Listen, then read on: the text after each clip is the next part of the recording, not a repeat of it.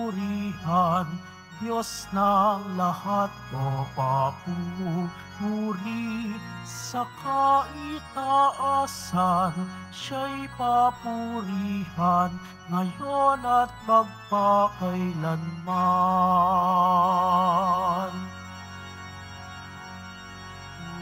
Umawit ang daigdigan, lahat ng naroroon. Umawit ang sangkatauhan, purihin ang Panginoon. Papuri sa kaitaasan, siya'y papurihan, Diyos ng lahat o papuri sa kaitaasan, siya'y papurihan ngayon at magpakailanman.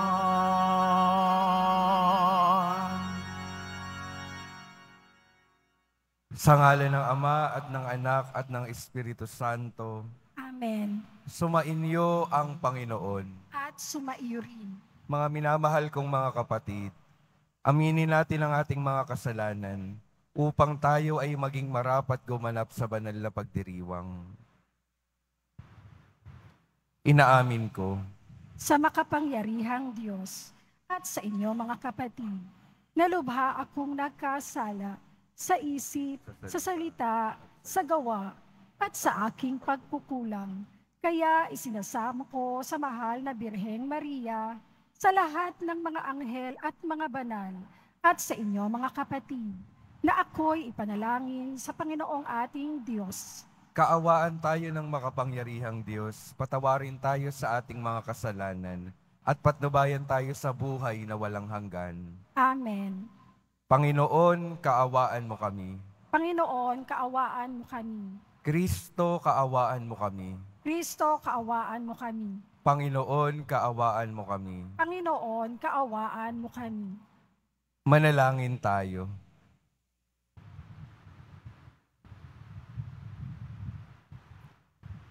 Ama naming makapangyarihan, ipagkaloob mong matularan namin ang pagkauliran ni Santa Rita na nagpunyaging makatulad ng dukha at mapagkumbabang Mesiyas upang sa pagtahak naming matapat sa iyong pagtawag, marating namin ang hantungang inaalok ng iyong anak na namamagitan kasama ng Espiritu Santo magpasawalang hanggan. Amen. Magsiupo muna ang lahat. Pagbasa mula sa sulat ni Apostol Santiago. Mga pinakamamahal, pakinggan ninyo ito. Kayong nagsasabi, ngayon o bukas ay pupunta kami sa ganitong bayan, ganito at gayong bayan, at isang taong kaming titigil doon, mga ngalakal at kikita ng malaki ni hindi ninyo alam kung ano ang mangyayari sa inyo sa araw ng bukas. Sapagkat ang buhay ninyo ay parang aso, sandaling lumilitaw at pagdakay nawawala. Ito ang dapat ninyong sabihin. Kung loloobin ng Panginoon at nabubuhay pa kami, gagawin namin ito o iyon. Ngunit kayo'y nagmamalaki at nagpapalalo. Masama iyan ang nakaalam ng mabuti na dapat niyang gawin, ngunit hindi ito ginagawa, ay nagkakasala.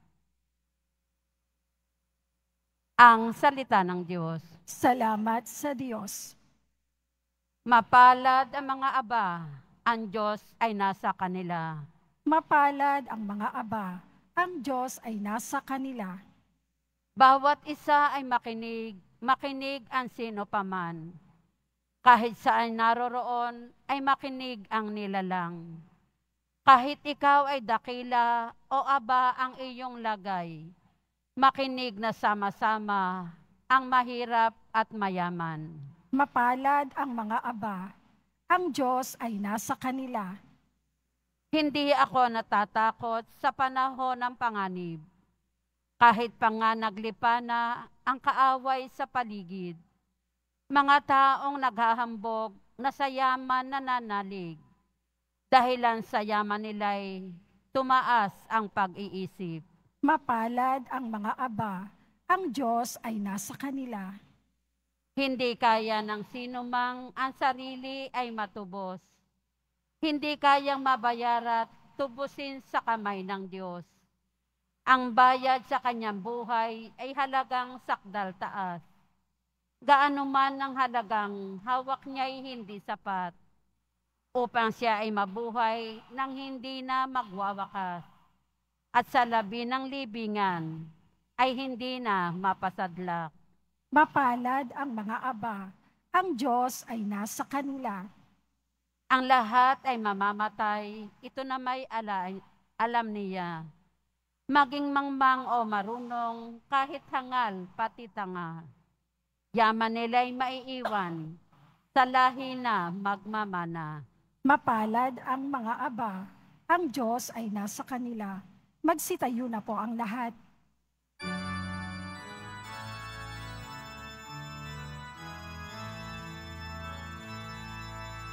Hallelujah.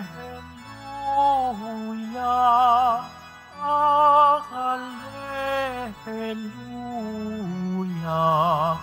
Hallelujah.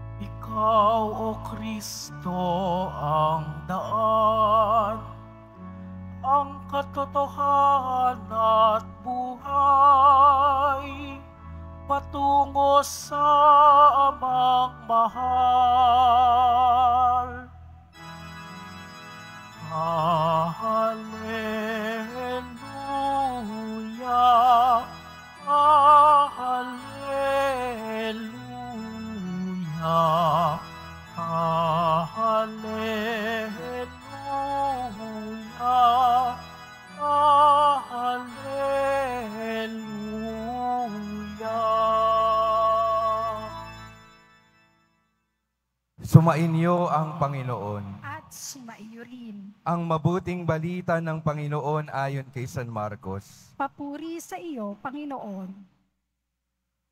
Noong panahong iyon, sinabi kay Jesus ni Juan, Guro, nakakita po kami ng isang taong nagpapalayas ng mga demonyo sa pamamagitan ng pangalan mo.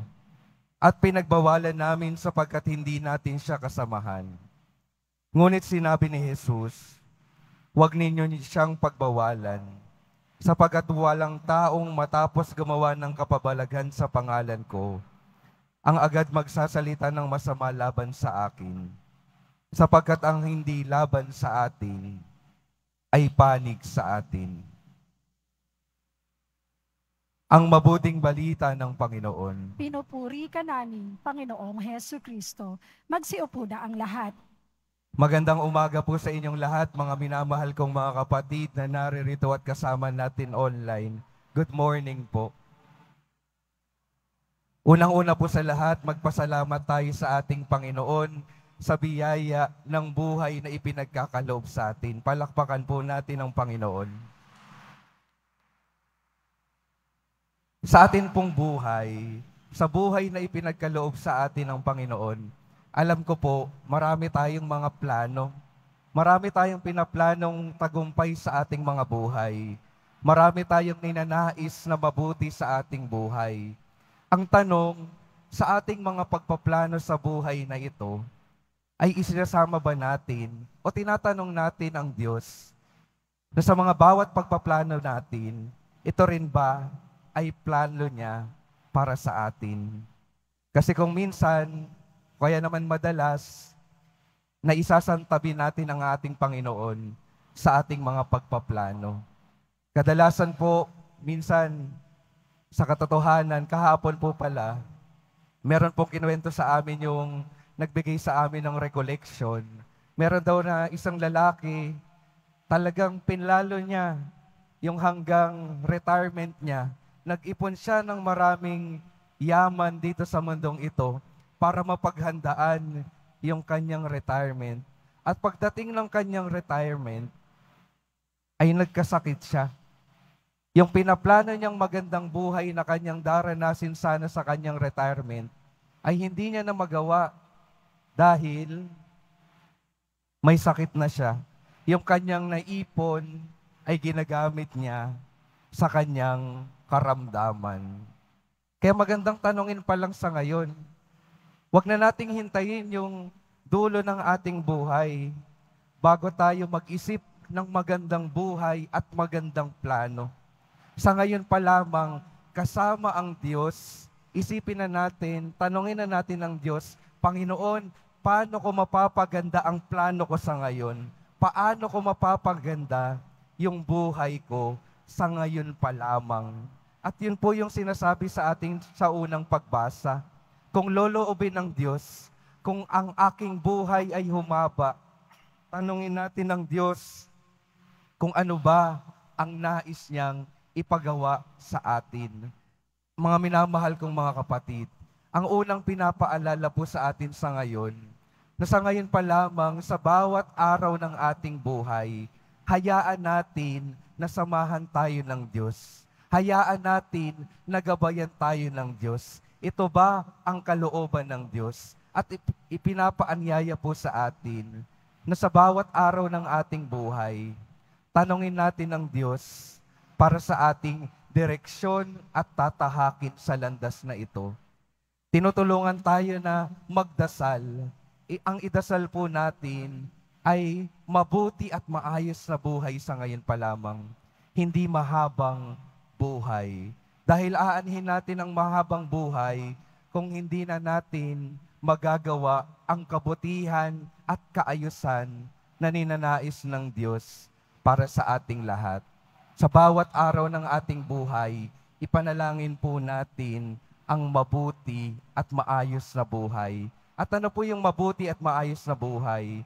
Ang mabuti at maayos na buhay po ay buhay unang-una sa lahat na nagpapagabay sa Diyos. Ang mabuti at maayos na buhay ay isang buhay na gumagawa ng mga nais ng Diyos sa ating mundo. At nakikita ito at mararanasan ng ibang mga tao, yung kabutihan na ating ipinagdadasal mula sa Diyos. Kaya ang unang paanyaya, hayaan natin na ang Diyos, samahan tayo sa ating pagpaplano at samahan tayo sa bawat araw ng ating mga buhay. At makikita po natin sa ating buhay, habang tayo ay naglalakbay sa mundong ito, hindi naman po palaging magiging madali. Hindi naman palaging magiging maayos din. Kahit patuloy tayong nakikiharap sa Diyos, kahit patuloy tayong nananampalataya at nananalangin sa Diyos, hindi po palaging magiging madali ang buhay. Pero napakahalaga na maging matapat po tayo sa ating Panginoong Hesus Nazareno na patuloy na nagnanais ng kabutihan para sa atin. Sa katunayan, napakagandang halimbawa ang santong ginugunita po natin sa araw na ito.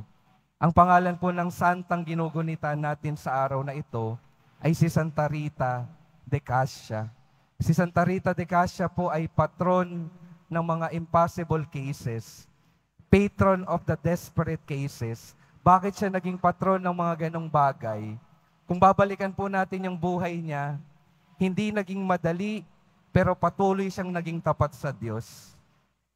Hindi naging madali, pero patuloy siyang nanatili sa piling ng Diyos. Nung kanyang murang gulang, nung bata pa siya, nais niya na pong pumasok sa kumbento. Pero ayaw ng magulang niya. Ipinapakasal siya sa isang lalaki. At yung kanyang napang-asawa, alam niyo po, yung kanyang napang-asawa ay basagolero. Mahirap na pakitunguhan. Pero nanatili siya sa kanyang asawa at nagkaroon siya sila ng dalawang anak. Matapos ang ilang panahon, yung kanyang asawa ay pinatay. Nahirapan silang magpatawad, pero pinili niya yung pagpapatawad. at tinuruan niya yung kanyang mga anak na magpatawad din. After din, ilang panahon pa, yung kanyang dalawang anak ay namatay din. Kung ano-ano na lang na kahirapan yung dumadating sa kanyang buhay. Una, ayaw niya yung asawa niya, tapos yung asawa pa niya ay nananakit. Nagkaroon sila ng dalawang anak, lahat ng kanyang pamilya, yung asawa, dalawang anak, namatay din. Pero patuloy siyang nanatili, nananampalataya sa ating Diyos. Matapos mawala ng kanyang asawa at ng dalawang anak, ano pong ginawa niya? Sumubok ulit siya na pumasok sa kumbento. Hindi rin po naging madali. Parang imposible, ayaw siyang payagan. Pero matapos ang ilang panahon, pinayagan po siya na makapasok sa kumbento at maging madre. At inalay niya yung kanyang buhay sa pananalangin at paglilingkod, lalo na sa mga dukha. At sa kanyang buhay, nagkaroon din siya ng sugat sa kanyang noo bilang pakikiisa sa mga sugat ng ating Panginoon. Kung titingnan po natin, ang daming paghihirap na dumating sa buhay ni Santa Rita. Pero hindi pinigilan ng mga paghihirap na iyon yung kanyang pananampalataya at pakikiisa sa ating poong Jesus Nazareno. Patuloy siyang nanampalataya at patuloy siyang namunga ng kabutihan sa kanyang buhay. At ngayon ay pinaparangalan natin siya bilang isang banal ng ating simbahan.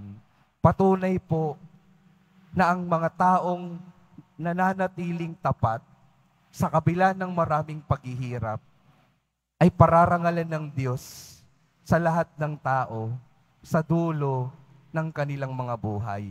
At ito rin po yung imbitasyon sa atin. Habang tayo ay nagdarasal sa mabuti at maayos na buhay, gawin po natin yung parte natin para maging mabuti at maayos yung ating mga buhay.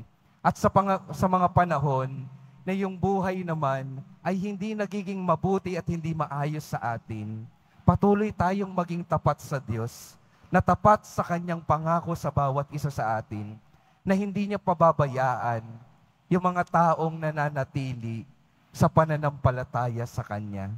Patuloy nating hingin ang lakas at pagsusumikap sa ating buhay upang patuloy tayong maging tapat at makapagpahayag ng mabuting balita dito sa mundong ito.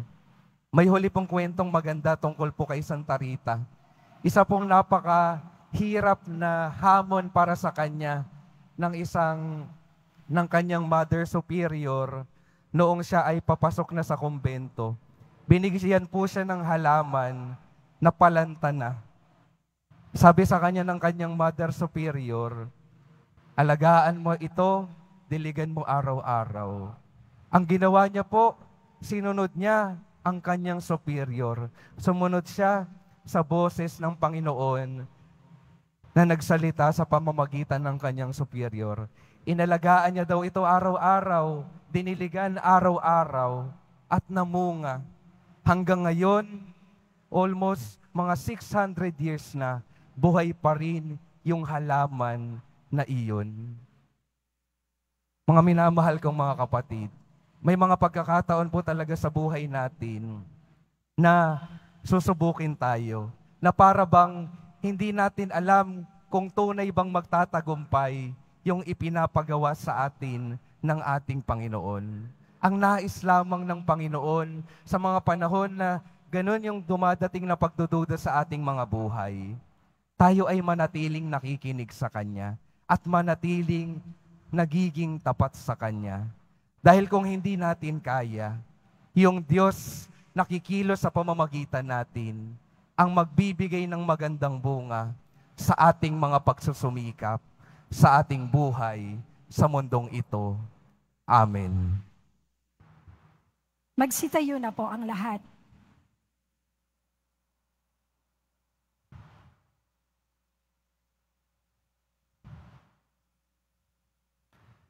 Minamahal kong mga kapatid, aming guro, itinuro mo sa amin na ang buong pagtanggi sa kasamaan, ang tunay na kahulugan ng pagiging alagad. Nananalangin kami kalakip ang aming intensyong magsakripisyo sa aming pagsunod sa Panginoon. Sa bawat panalangin ng ating sasabihin, Banal na Guro, ilapit mo kami sa iyo. Banal na Guro, ilapit mo kami sa iyo. ang ating simbahan, naway tunay na maipahayag ang ebanghelyo. Manalangin tayo. Banal na Guro, ilapit mo kami sa iyo. Tayong lahat naway bigyan ng Diyos ng biyaya ng kapatawaran, pagbabalik loob at kagalingan ng mga sakit at hinanakit na dulot ng pagkakahiwa-hiwalay at pag-aaway. Manalangin tayo. Banal na Guro, ilapit mo kami sa iyo.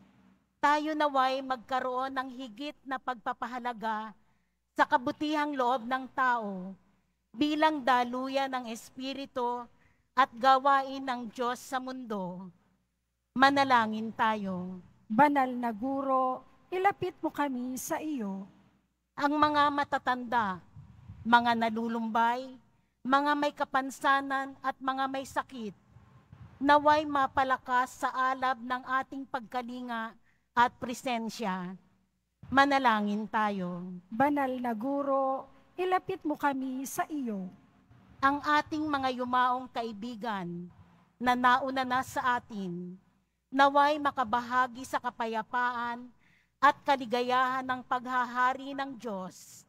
Manalangin tayo. Banal na Guro, ilapit mo kami sa iyo. Sa katahimikan ating itaas sa Diyos ang ating mga personal na panalangin.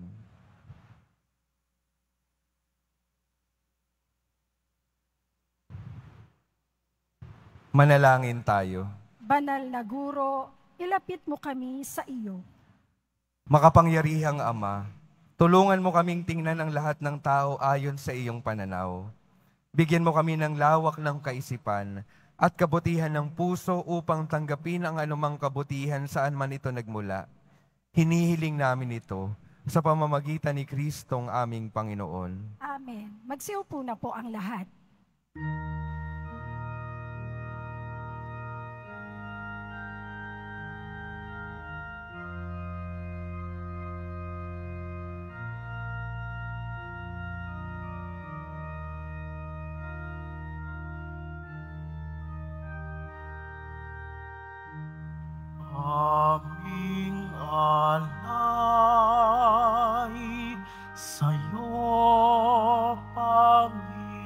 Panginoon.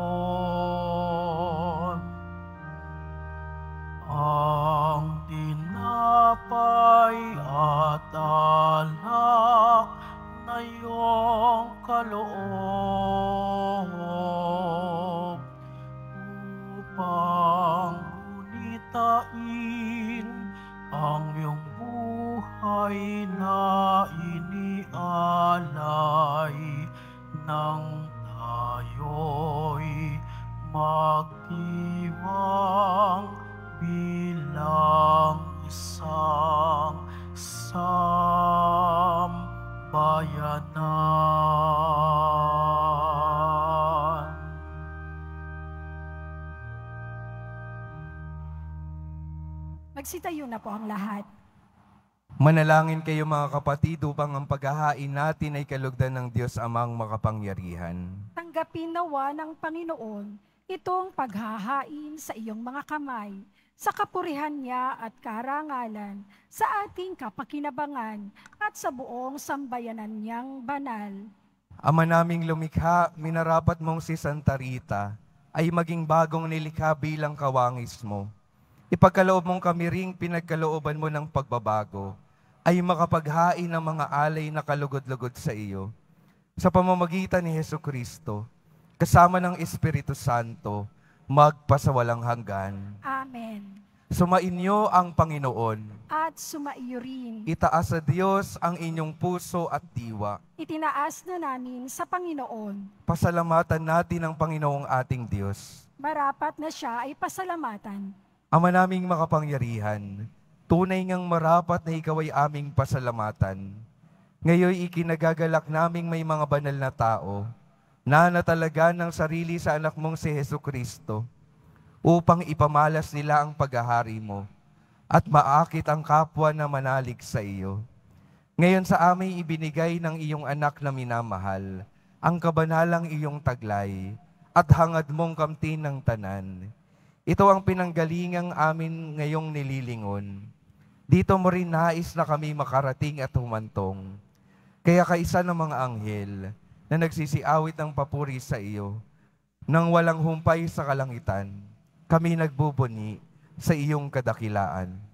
Santo, Santo, Santo, Panginoong Diyos ng mga hukbo, napupuno ang langit at lupa ng kadakilaan mo, o sana sa kaitaasan, pinagpala ang naparirito sa ngala ng Panginoon, o sana sa kaitaasan, magsiluhod po ang lahat. Ama naming banal, ikaw ang bukal ng tanang kabanalan. Kaya't sa pamamagitan ng iyong Espiritu, gawin mong banal ang kaloob na ito upang para sa amin maging katawan at tugo ng aming Panginoong Heso Kristo. Bago niya pinagtiis ang kusang loob na maging handog, hinawakan niya ang tinapay, pinasalamatan kaniya, pinaghati-hati niya iyon, iniabot sa kanyang mga alagad at sinabi, Tanggapin ninyong lahat ito at kanin. Ito ang aking katawan na ihahandog para sa inyo.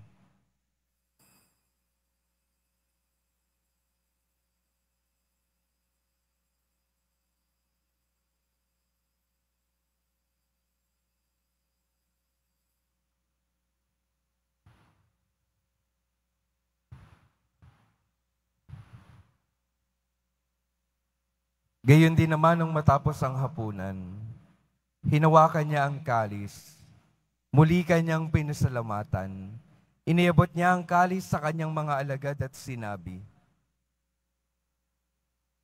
Tanggapin ninyong lahat ito at inumin. Ito ang kalis ng aking dugo, ng bago at walang hanggang tipan. Ang aking dugo na ibubuhos para sa inyo at para sa lahat, sa ikapagpapatawad ng mga kasalanan. Gawin ninyo ito sa pag-alala sa akin.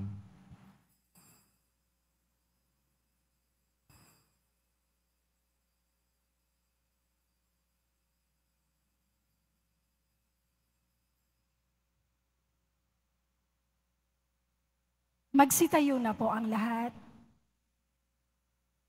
Ipagbunyi natin ang misteryo ng pananampalataya. Si Kristo'y namatay, si Kristo'y nabuhay, si Kristo'y babalik sa wakas ng panahon.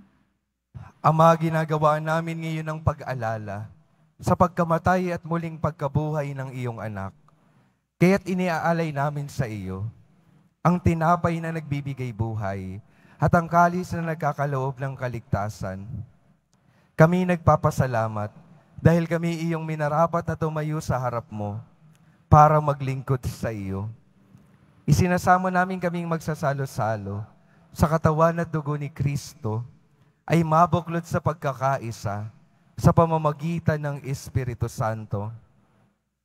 Ama, lingapin mo ang iyong simbahang laganap sa buong daigdig. Puspusin mo kami sa pag-ibig. Kaisa ni Francisco na aming Papa at ni Jose na aming Obispo at ng Tanang Kaparian. Alalahanin mo rin ang mga kapatid naming nahimlay nang may pag-asang sila'y muling mabubuhay. Gayon din ang lahat ng mga pumanaw. Kaawan mo sila at patuloyin sa iyong kaliwanagan. Kaawan mo at pagindapatin kaming lahat na makasalo sa iyong buhay na walang wakas. Kaisa ng mahal na Birheng Maria na ina ng Diyos, ng kabiyak ng puso niyang si San Jose, kaisa ng mga apostol, ni San Juan Bautista at ng lahat ng mga banal, na namuhay dito sa daigdig ng kalugod-lugod sa iyo. Maipagdiwang nawa namin ang pagpupuri sa ikararangal mo sa pamamagitan ng iyong anak na aming Panginoong Heso Kristo. Sa pamamagitan ni Kristo, kasama niya at sa Kanya, ang lahat ng parangal at papuri ay sa iyo, Diyos amang makapangyarihan, kasama ng Espiritu Santo, magpasawalang hanggan. Amen. Sa tagubili ng mga nakagagaling na utos at sa turo ni Jesus na Panginoon natin at Diyos, ipahayag natin ng lakas loob. Ama namin, Sumasalangit ka, sambahin ang ngalan mo, mapasa amin ang kaharian mo, sundin ang loob mo dito sa lupa para nang sa langit. Bigyan mo kami ngayon ng aming kakanin sa araw-araw at patawarin mo kami sa aming mga sala para nang pagpapatawad namin sa nagkakasala sa amin. At huwag mo kaming ipahintulot sa tukso at iadya mo kami sa lahat ng masama. hinihiling namin kami yadya sa lahat ng masama, pagkalooban ng kapayapaan araw-araw, iligtas sa kasalanan, at ilayo sa lahat ng kapahamakan, samantalang aming pinananabikan ang dakilang araw ng pagpapahayag ng tagapagligtas naming si Heso Kristo. sapagkat iyo ang kaharian at ang kapangyarihan at ang kapurihan magpakailanman. Amen. Panginoong Heso Kristo, sinabi mo sa iyong mga apostol, kapayapaan ang iniiwan ko sa inyo, ang aking kapayapaan ang ibinibigay ko sa inyo. Tunghayan mo ang aming pananampalataya at huwag ang aming pagkakasala. Pagkalooban mo kami ng kapayapaan at pagkakaisa ayon sa iyong kalooban, kasama ng Espiritu Santo, magpasawalang hanggan. Amen. Ang kapayapaan ng Panginoon ay laging sumainyo. At sumaiyo rin. Magbigayan kayo ng kapayapaan sa isa't isa.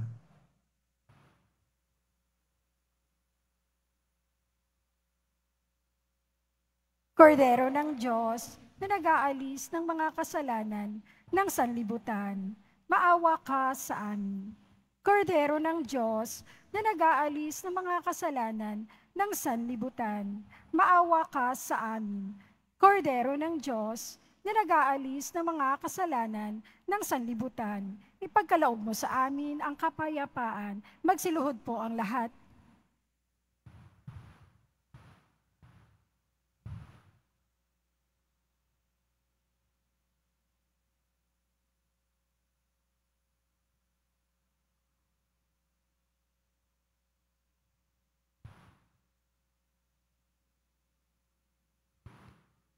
Ito ang kordero ng Diyos. Ito ang nag-aalis ng kasalanan ng sanlibutan. Mapalad ang mga inaanyayahan sa kanyang piging.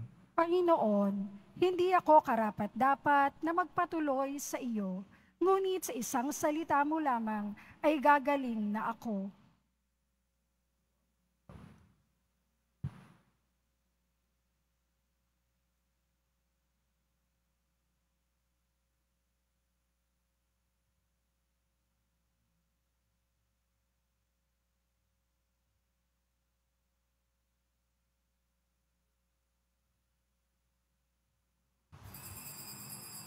Para sa lahat ng tatanggap ng banal na komunyon, sasagot po tayo ng amen. Pagkasabi ng pari o ng lay minister ng katawan ni Kristo at isubo agad sa bibig bago umalis sa harapan ng pari o lay minister. Sumunod po tayo.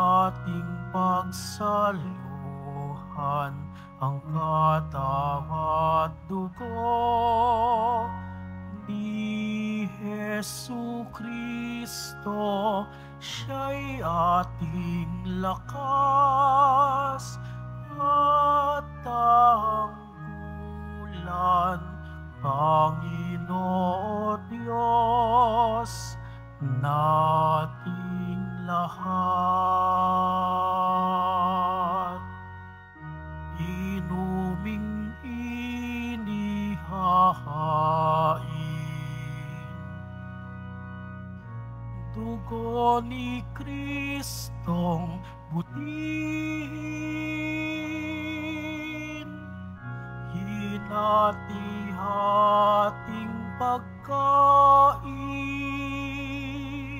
Katawang alay sa piging ni Jesus para sa atin. Sa piging na ito, ating pagsaluhan ang katawa at dugo ni Jesu Kristo. Siya'y ating lakas at tanggulan, Panginoon Diyos nating lahat.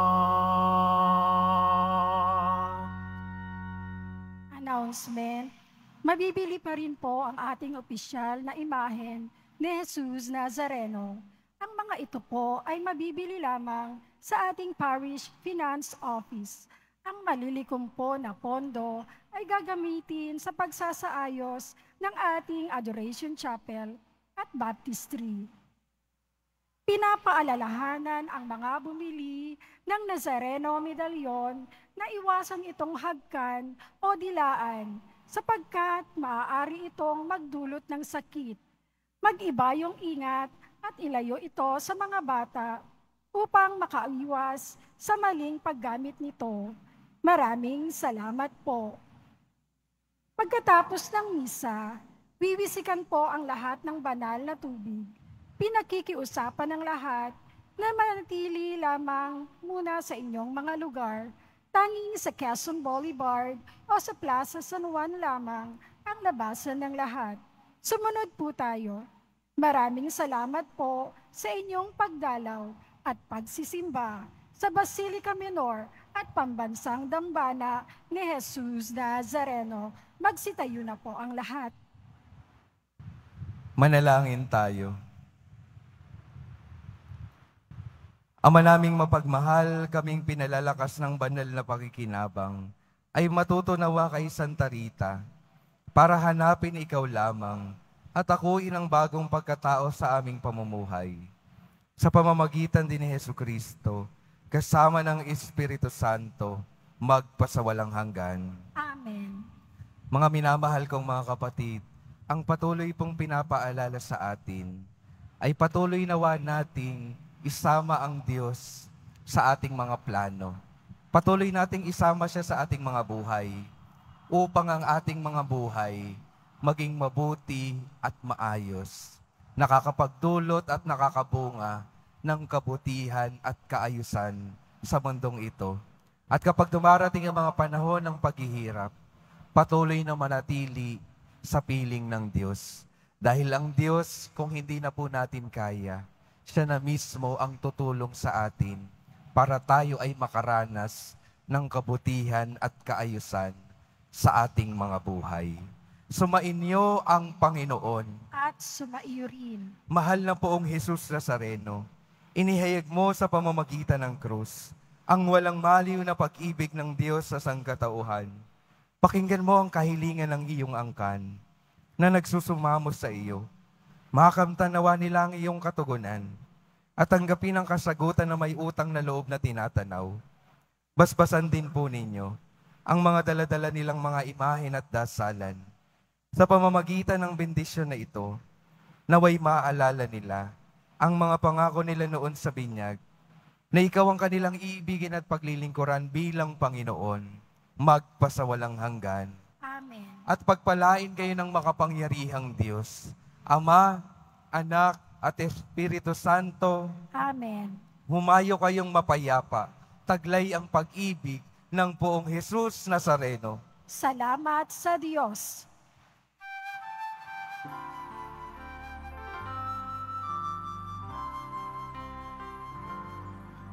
Nuestro Padre Jesus Nazareno, sinasamba ka namin.